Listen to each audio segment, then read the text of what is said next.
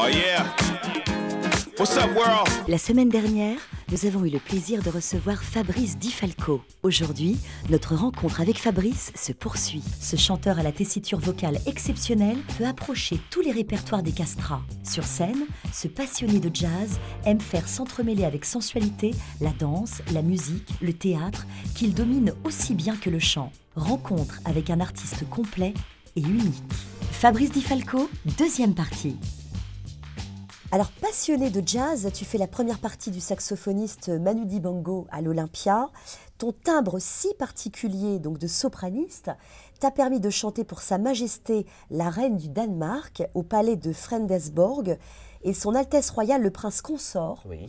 Et pour Sa Majesté le Sultan Kabos bin Saïd avec l'orchestre Omanais dans un programme Mozart Oui. dirigé par Russell Kebel. Alors, Tu es également prof de chant et Liliane Mazeron t'avait d'ailleurs appris la méthode du miaou. Oui, oui, parce que en fait, quand j'ai commencé à comprendre la technique vocale en 1994, euh, dirigée par Liliane Mazeron au Conservatoire de Boulogne-Billancourt, euh, j'arrivais vierge parce que je ne savais pas la différence entre la clé de sol et la clé de fa, et encore moins quelle était la technique vocale, parce que j'avais déjà enregistré en 92 un premier disque qui s'appelle Où est passé l'amour, qui était accompagné par Annick Osé Lafontaine. Donc, moi, j'arrivais au conservatoire en 94 avec un bouc énormissime, un peu vedette de mon île à Martinique, et elle me parle de technique vocale. Alors moi, je ne comprenais pas, je me disais, oh là là, Oh là. le Star Academy était des années plus tard, mais enfin, je pense que je ne comprenais pas pourquoi la technique du, du chant.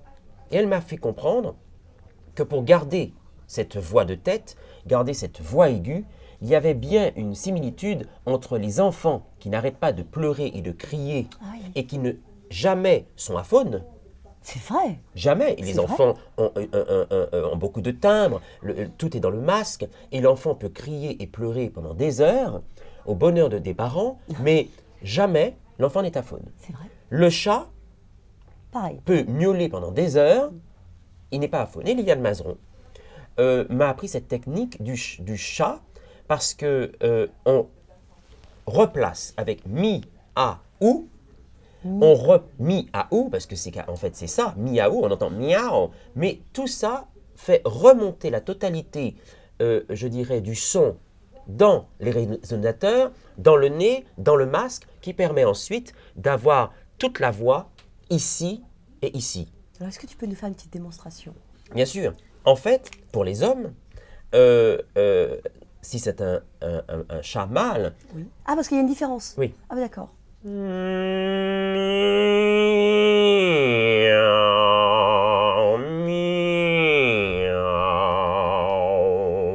Cette voix grave pour les hommes, ce miaou fait appel à la voix de poitrine et au résonateur de voix de tête. On entend qu'il y a quand même du nez, on entend qu'il y a de la profondeur normalement et de la poitrine. Pour les femmes, pour vous les femmes, euh, vous utilisez la voix de poitrine un peu moins que nous parce que vous avez et vous parlez avec déjà une voix assez haute. Et les femmes, quand elles font cette technique, c'est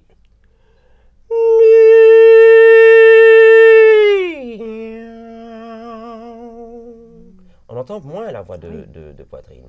Par exemple, Nathalie Dessay, quand elle chante toutes les notes de la Reine de la Nuit ou tout le répertoire des sopranos légères au coloratour, elle n'a pas besoin d'utiliser beaucoup sa voix de poitrine parce que tout est une voix extrêmement haut perché. Par contre, Cecilia Bartoli, qui est elle une mezzo-soprano coloratour, a besoin, quand elle va dans le grave, d'avoir une voix de poitrine. Et à ce moment-là, c'est le rapport avec les castrats que Bartoli a, c'est cette possibilité de faire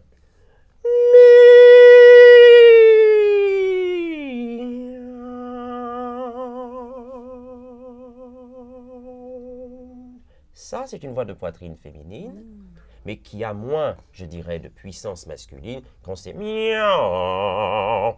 Voilà. En réalité, la technique du, du miaou est pour moi une bonne, euh, un bon résumé d'une technique de voix, une technique vocale, surtout pour des débutants. Après, on apprend l'ouverture du palais, le, le- le- soulèvement du voile du palais, et ensuite toute la technique, je dirais, euh, de l'abdomen, de la respiration, euh, euh, et je dirais, on s'appuie beaucoup sur des traités musicaux parce que s'il y a bien des personnalités qui nous ont donné une sorte de direction vocale et d'apprentissage de la voix, c'est les castrats parce qu'ils avaient une cage thoracique qui leur permettait de tenir des notes excessivement longtemps. Assiste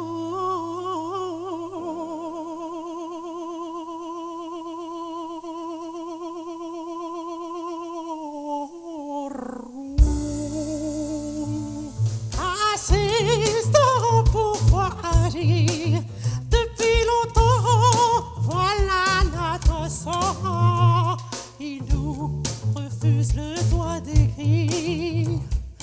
À qui nous donne plus Est-ce que tu as des trucs, Fabrice, pour prendre soin justement de, de ton instrument? Est-ce que tu as des trucs? Est-ce que tu dors beaucoup? Est-ce que tu as une hygiène de vie qui accompagne cet instrument ou, ou pas forcément? Alors, euh, je dirais que j'ai une hygiène de vie déjà euh, presque naturelle. Je ne bois pas, je ne fume pas. Bon, alors déjà, euh, voilà, une vie de moine.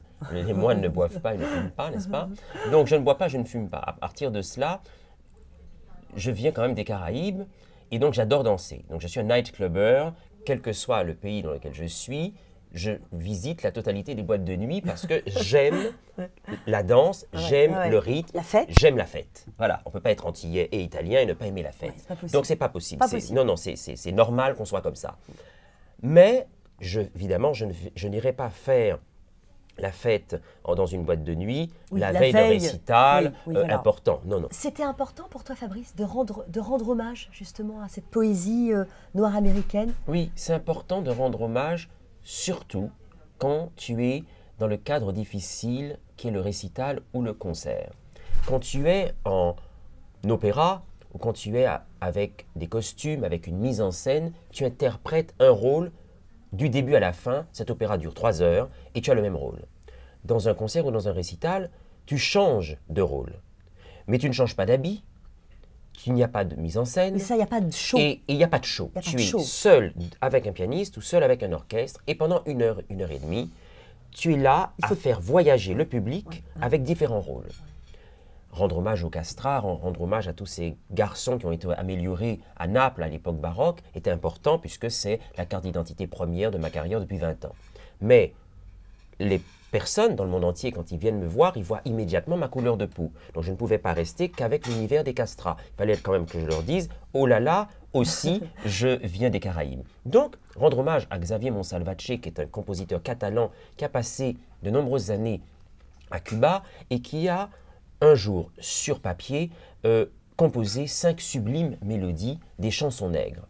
Et je passe du répertoire baroque jusqu'à la musique afro-américaine, tout ça en une heure et demie, et il faut que je puisse tenir mon public en haleine dans ce voyage où ils ne doivent pas me quitter des yeux et non pas, et ne- ils ne doivent pas non plus euh, euh, me quitter de l'oreille, si je puis dire, Tout à fait. et en même temps qu'ils n'aient pas l'impression qu'on soit passé de Naples à l'Italie en catastrophe avec un jet privé. Mais pour- c'est ça. Voilà, il, Il faut, faut quand qu'il y même ait une harmonie. Il faut une harmonie. Et c'est important, l'harmonie dans un récital, l'harmonie dans un concert, c'est important. Et c'est là où c'est très difficile parce que tu ne bouges pas, tu restes droit, Donc il faut tenir l'attention et il des faut gens. tenir l'attention et voyager avec eux sans qu'ils se rendent compte que quelquefois il y a des turbulences comme Et quand on est dans l'avion euh, ouais. et il faut les emmener. Un rêve aujourd'hui, Fabrice, euh, ce serait lequel? Avoir des enfants. Oh Oui, mon rêve, ce serait avoir des enfants.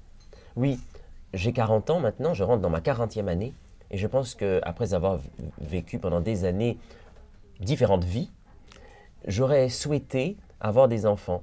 Euh, un pour euh, leur transmettre cette passion de l'art, un pour leur transmettre cette, euh, je dirais, euh, ce- côté épicurien de la vie. que j'ai envie de. Et cette curiosité de la vie. J'ai eu la chance d'avoir des parents qui m'ont ouvert Qui toutes les éveillé. portes euh, exactement à la curiosité. Et quelle que soit ma vie actuelle, je souhaiterais avoir des enfants pour transmettre. Leur transmettre cette passion de la vie et cette passion du monde. Parce que je suis curieux, évidemment, de beaucoup de choses, mais des gens. Si j'arrive à passer depuis 20 ans à différents styles musicaux, c'est parce que c'est le public, c'est les personnes que je rencontre, comme nous, ce soir. Euh, c'est ces personnes, c'est les rencontres qui m'enrichissent dans Mm. mon répertoire vocal et mon répertoire d'homme tout simplement. Très joli, ben, on te le souhaite. hein, on te le souhaite, Fabrice, de tout cœur. Alors, Fabrice, il est temps pour nous de passer à l'impro libre. Que Il y a bien une chose que j'aurais souhaité faire en plus, euh, je dirais, de, de mon métier de chanteur, c'est j'espère prendre un jour des cours d'humoriste. Parce que au concert du Di Falco Quartet, j'essaye, euh, au-delà que le public m'ait vu pendant une heure et demie à les transporter dans différents euh, Univers. univers, je vais rajouter au Di Falco Quartet ce côté humoriste. Et en fait, je vais terminer cette émission par quelque chose qui me plaît beaucoup, c'est on parlait de Mozart. À l'époque baroque et à l'époque classique, combien d'hommes étaient mariés et avaient euh, différentes, euh, je dirais, conquêtes. Et il y a une histoire qui est extraordinaire, euh, que tu pourras écouter dans mon disque Di Falco Quartet et au spectacle One Vocal Show. C'est cette histoire du prince Farnace qui a son père, a son frère, Sifare, et il se trouve que ces trois hommes aiment la même princesse. Eh oui, Farnace aime une femme qui est aimée de son père et qui est aimée de son frère. Euh, moi, je trouve ça un peu original parce que quand son père va partir à la guerre, les deux frères vont se battre cette sublime Aspasie.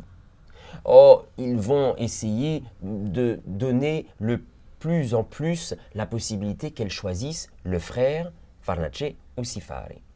Mais jamais ils ne penseraient que le père, Mithridate Ridiponto, reviendrait en pleine vie.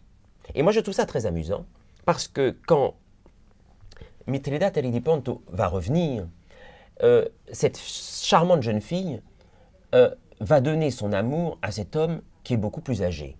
Et Sifare et Farnace vont, se sont battus pendant tout cet opéra pour récupérer le cœur de cette charmante jeune fille. Et je trouve ça assez drôle. Parce que dans cet opéra, ces trois hommes se battent une femme qui va choisir le plus âgé. Et en réalité, dans l'opéra, je joue le rôle de Farnace. Donc celui qui, pendant tout l'opéra, aura essayé de capturer son cœur. Et je me dis que j'ai mal choisi mon rôle, car j'aurais dû choisir Mithridate Ridiponto, parce que c'est un rôle qui est extraordinaire, parce qu'à la fin, il réussit à récupérer la jeune femme avec qui il vivra une belle histoire d'amour. Merci, Fabrice. J'ai été ravie de te recevoir. Merci à toi, j'étais ravi également. Il était une voix, c'est fini pour aujourd'hui, mais à très vite. Bye bye.